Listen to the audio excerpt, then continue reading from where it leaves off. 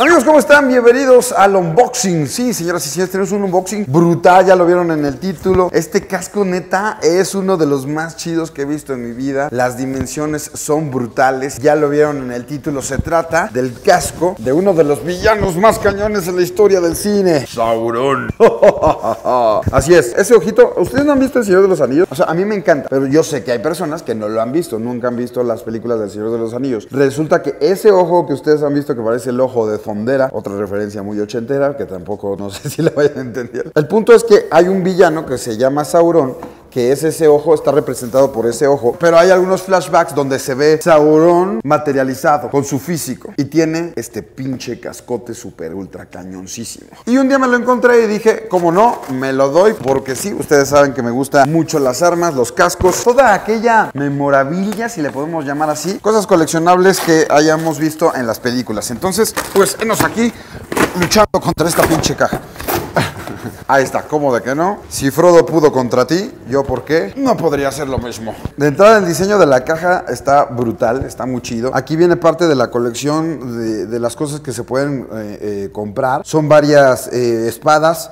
También hay un escudo, hay un, hay un par de báculos mágicos, el de Gandalf y el de el otro, el otro mago. Varias espadas, esas espadas están bien cool, güey. Ah, pues son las de Legolas, güey. ¿Te acuerdas que saca dos? Esas están bien chidas. De estas ya, ahora sí que les voy a decir cuáles ya tengo. Tengo esta, esta es la de esta es la de Aragorn y tengo esta que está bien chida que es uno de los enanos, el otro de los enanos que tiene esta de Philly y ya creo que esas son las que tengo hasta ahorita. Pero están bien chidas, pero bueno, aquí está, está hecho a escala limitada, es una edición de solamente 1500 piezas. Y aquí te cuento un poco la historia de este personaje de Sauron, del que alguna vez tuvo en su dedo el anillo, el anillo que gobernaba a todos. En la segunda era de la Tierra Media, el oscuro Lord Sauron. Básicamente le daba en su madre a todo el mundo con su espada en esta tierra. Estaba corrompido y esclavizando a gente con desesperación y con miedo. Una última alianza entre elfos y hombres hicieron un combate contra las fuerzas de Sauron, bajo el liderazgo del rey Elben en Gil-galad y Eledil, el rey de Gondor. Su ejército fue contra las fuerzas de Sauron en la montaña Doom, cerca del clímax de la batalla. El mismísimo Sauron emergió en el campo de batalla con su armadura completa con su espada así toda súper ultra cañona y su armadura negra y plateada y demás. Portaba un casco que era como hecho de seis espadas o de seis eh, filos.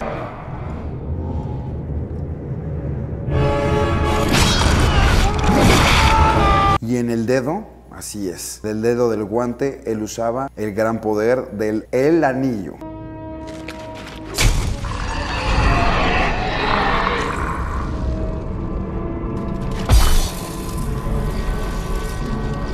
En la cabeza usaba este casco de guerra coronado por seis picos, cubierto de una decoración venenosa. Uy.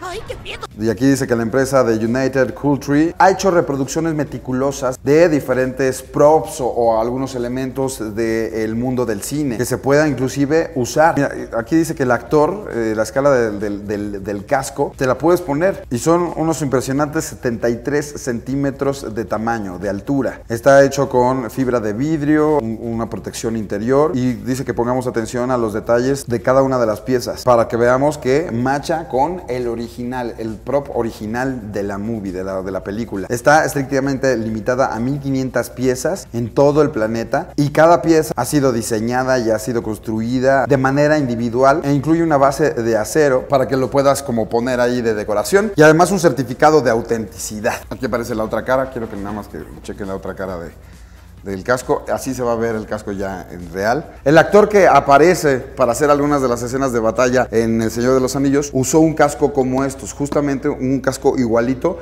para que se pudiera ver súper cañón, se pueda ver real, para que no se vea como chafa este, hecho como en computadora, sino que se pueda ver real. Y esta es una réplica exacta de lo que él usó en su momento. Pasemos a la otra parte del unboxing.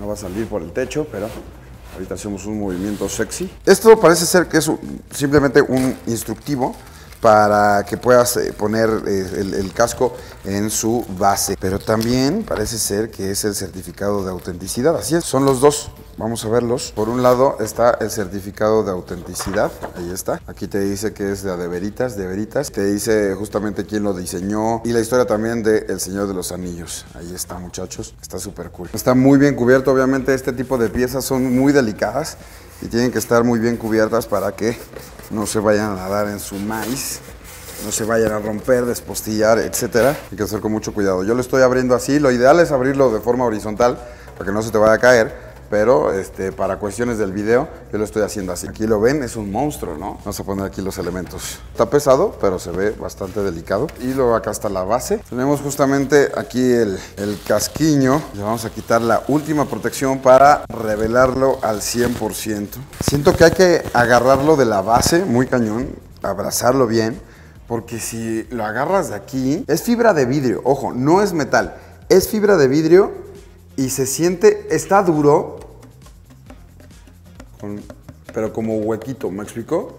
O sea, si le jalas fuerte, yo creo que sí te lo puedes llevar. Aquí está el casco, justamente como nos lo prometieron, de seis picos. Les vamos a hacer un recorrido por cada uno de los detalles que tiene esto, porque no se trata solamente de hacerlo así al aventón, sino tiene algunos relieves, tiene algunos huequitos, tiene obviamente la parte aquí para que este, pueda ver en la batalla. 360 grados total de detalle.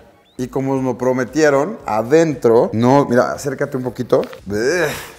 huele medio feo. Yo creo que de encerrado, güey. me, lo, quería poner, pero me lo voy a poner muy rápido. Está como encerrado. Bueno, aquí está esta parte, miren, es como de, como de espuma, forrado con terciopelo, ¿no? Para que lo puedas usar y no haya tanto problema. Y esta es la base, la base pues eh, asemeja como si fuera el pecho, ¿no? El pecho de, de Sauron.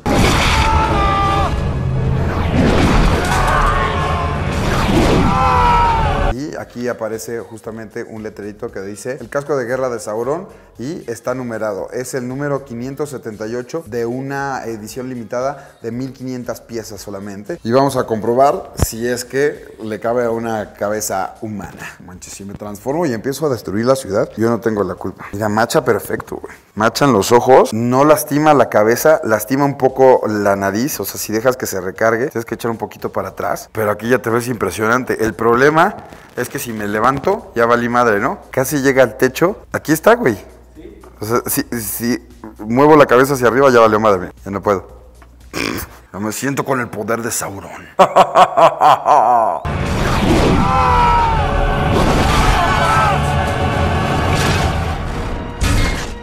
la cabeza oliendo a pomada. Ahí lo tienen, muchachos. Vean nada más. Está muy perro, ¿no, güey? Bueno, me dure. Aquí está la base. Es una base, esta sí es como metal. No, es que tampoco está metalizada. Es de madera y esto está muy sencillo. Así, así de sencillo. Lo, lo ponemos y lo montamos. No se tiene que atornillar ni nada. Simplemente lo postramos así y ¡boom! ¡Qué huele! Está bien perro, ¿no, güey? Nada puede acabar con el poder del anillo.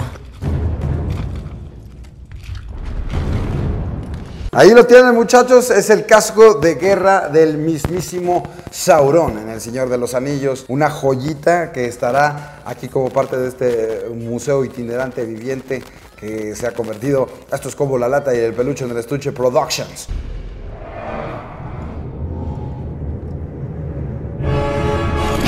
Ahí están precios sugeridos, sugeridos de, algunas eh, tiendas que nos lo hemos topado. O lo encuentras en tu país, lo encuentras en tu ciudad, o si vas a tener que pagar una buena lana aparte de lo que cuesta para transportarlo, porque sí es como si fuera una maleta entera y además es súper delicado. No escatimen en gastos. Si ya le invirtieron en, adquirir una de estas, pues sí, que, que, la cuiden mucho este, en la transportación para que valga la pena, ¿no? Básicamente.